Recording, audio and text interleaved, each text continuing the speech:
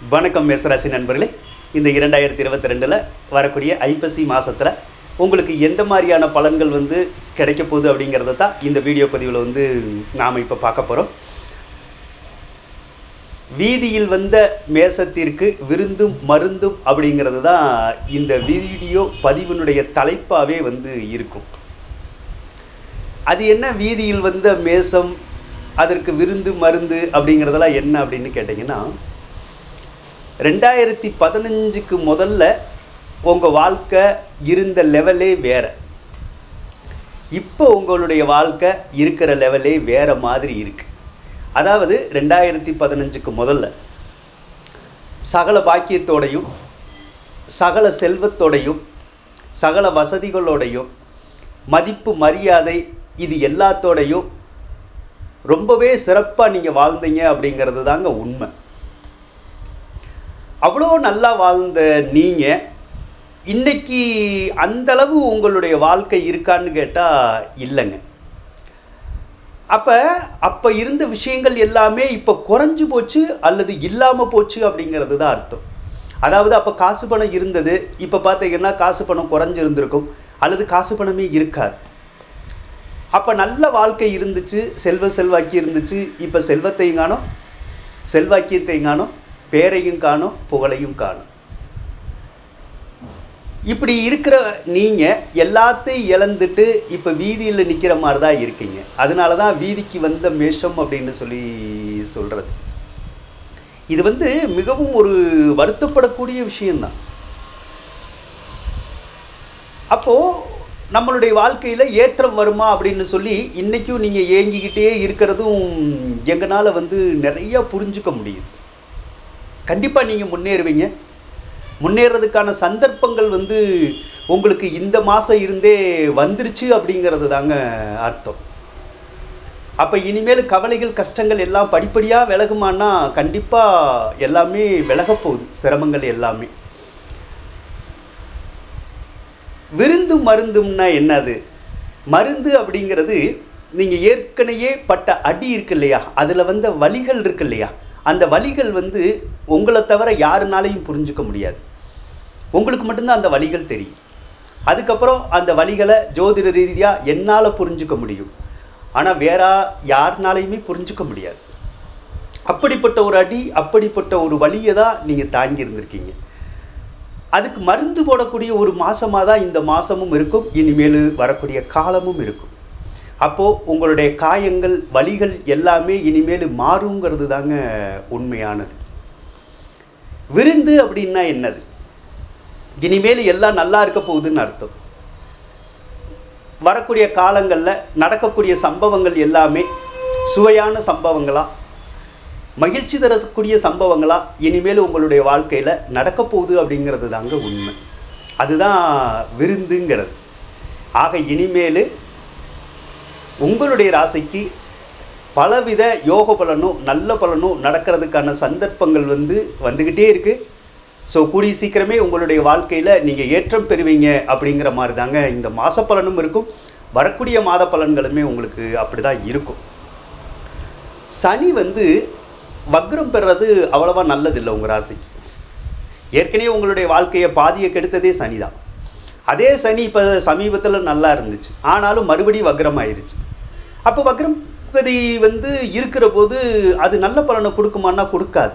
எதில் நல்ல பலனை கொடுக்காது அப்படின்னா தொழில் வேலை இது ரெண்டுலேயும் நல்ல பலனை வந்து கொடுக்கல கொடுக்க மாட்டேங்குது. சரி இது வந்து வக்ரகதியாக இருக்கிறனால தான் இந்த பிரச்சனை. இப்போ வக்ரகதி விலகிருச்சு. அப்போ இனிமேல் தொழில் ஸ்தானம் சிறப்பாக இருக்குமா அப்படின்னு கேட்டால் கண்டிப்பாக வந்து தொழில் ஸ்தானம் ரொம்பவே சிறப்பாக இருக்குங்க.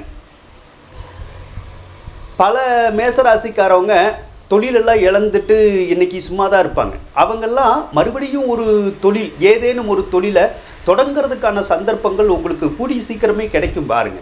அந்த எண்ணங்கள் வந்து வந்துக்கிட்டே இருக்கும். தொழில் தொடங்கலாமா வைக்கலாமா என்ன தொழில் தொடங்கலாம் அப்படிங்கிறதெல்லாம் உங்கள் வீட்டில் நீங்கள் ஆலோசனை பண்ணிக்கிட்டே இருப்பீங்க உங்கள் குடும்பத்தார்கிட்ட. அதெல்லாம் கூடிய சீக்கிரம் நிறைவேற போகுதான்னா கூடிய சீக்கிரம் நிறைவேற தான் போகுது. அப்போ புதுசாக தொழில் தொடங்கினா இனிமேல் நல்லா இருக்குமான்னா தொழில் தொடங்கினா நல்லா தான் இருக்கும். தொழில் நல்ல லாபகரமாக தான் போகும். நல்ல முன்னேற்றமும் இருக்கும். தாராளமாக தொழில் தொடங்கிக்கங்க.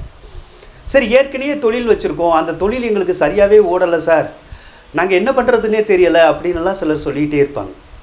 அவங்களுக்கு கூட தொழில் இனிமேல் நல்லா நடக்கிற மாதிரி தான் அந்த கிரக அமைப்பு வந்து இருக்குது வேலை அப்படின்னு எடுத்துக்கிட்டால் பல மேசராசிக்காரவங்களுக்கு கடந்த காலத்தில் நிலையான வேலை இல்லை. எங்கே வேலை பார்த்தாலும் வேலை பார்க்க முடியல. ஒன்று நம்மளாக ரிசைன் பண்ணி வெளியே வந்துடுவோம் இல்லைன்னா அவங்களே கம்பெனிக்காரவங்களே வெளியேற்றிடுவாங்க தேவையில்லாத டிரான்ஸ்ஃபரு நிறைய சிரமங்கள் மேல் அதிகாரிகள்னால தொல்லை சிரமம் சிக்கல் கூட வேலை பார்க்குறவங்கனால நிம்மதி போகிறது இந்த மாதிரிலாம் நிறைய சந்திச்சிருந்திருப்பீங்க.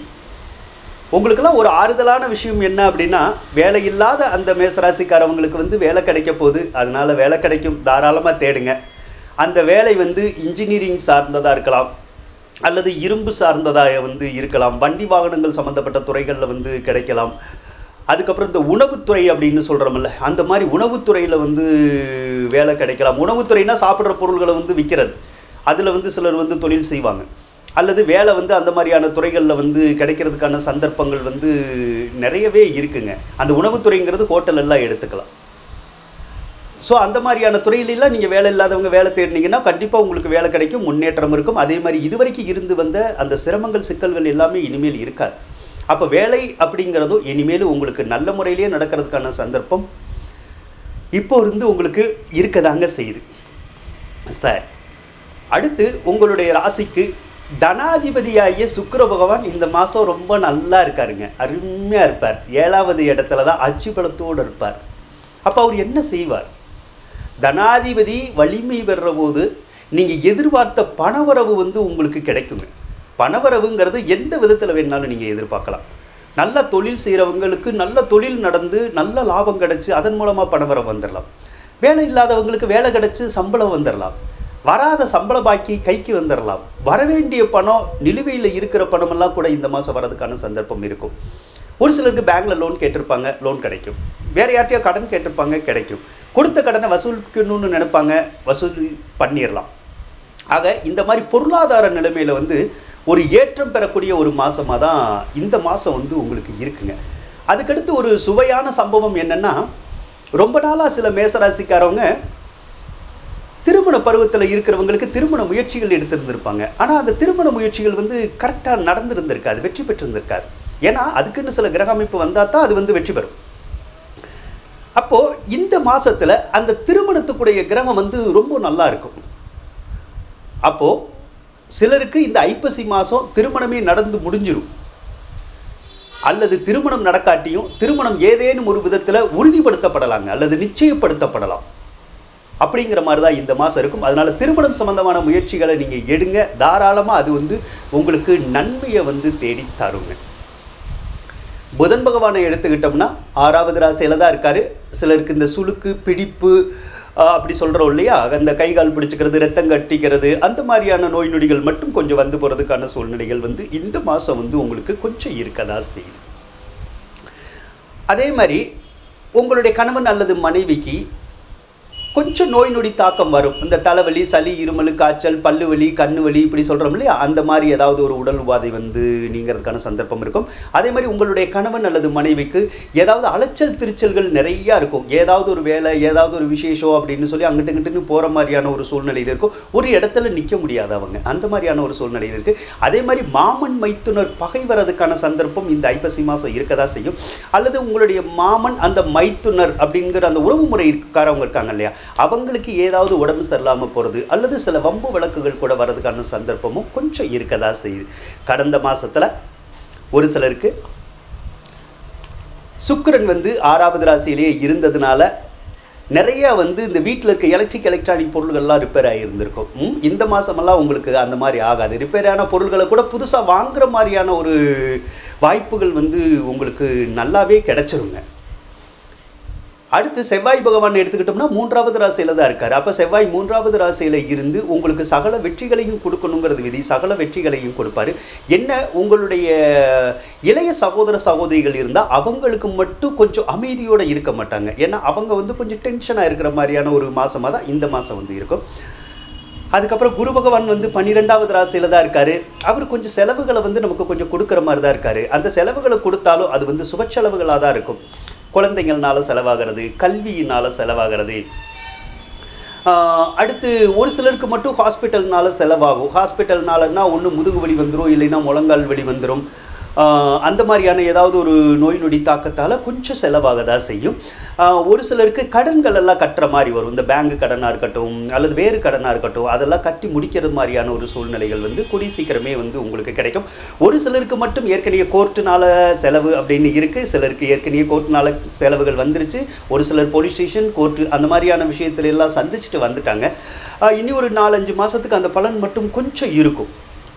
ஆனால் பயப்படணுங்கிற ஒரு அவசியம் வந்து இல்லை. அதனால் இந்த செக்கு சம்மந்தப்பட்ட விஷயத்தில் மட்டும் யாருக்கிட்டையும் செக்கு மட்டும் கொடுக்காதீங்க செக்கு வாங்காதீங்க. இதை மட்டும் நீங்கள் கவனமாக பண்ணிக்கிட்டீங்கன்னா உங்களுக்கு வேறு பிரச்சனைகள் எதுவும் வராது. அதே மாதிரி வம்பு வழக்குகள் வர்ற மாதிரி தெரிஞ்சாலும் கொஞ்சம் அமைதியாக ஒரு நாலஞ்சு மாதத்துக்கு விட்டுருங்க. அதுக்கப்புறம் அந்த வம்பு வழக்குகள்லாம் இருந்த இடம் தெரியாமல் விலகி போகும் அப்படிங்கிறது தாங்க இந்த மாதத்தினுடைய பலனாகவே இருக்குது ஆக இந்த மாதத்துலேயும் சரி இனி வரக்கூடிய மாதங்கள் அனைத்துலேயுமே உங்களுக்கு சர்வ பாக்கியம் கிடைக்கணும் அப்படின்னு இறைவனை வேண்டிக் கொண்டு தீபாவளி வாழ்த்துக்களையும் உங்களுக்கு சொல்லிக்கொண்டு விடைபெறுகின்றேன். நன்றி வணக்கம்.